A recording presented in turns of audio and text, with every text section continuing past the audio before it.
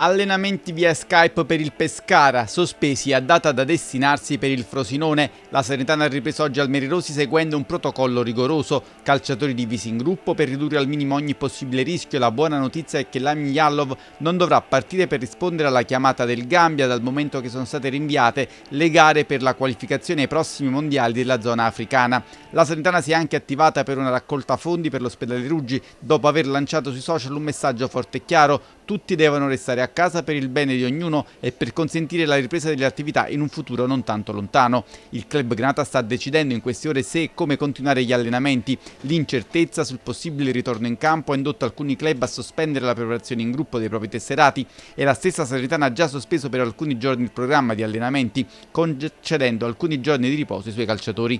Questa mattina la squadra è tornata, sebbene a scaglioni, agli ordini dello staff tecnico con tutte le precauzioni e le cautele del caso, anche se la regola aurea resta una, limitare i contatti e gli assembramenti. Diversi casi di coronavirus hanno interessato il calcio italiano ed ora più che mai anche tra gli atleti è importantissimo ridurre il rischio di contagi, eventualità che farebbe scattare la quarantena e l'isolamento in blocco, come sta accadendo alla Sampdoria, ma anche alla Fiorentina, alla Juventus, all'Inter e all'Udinese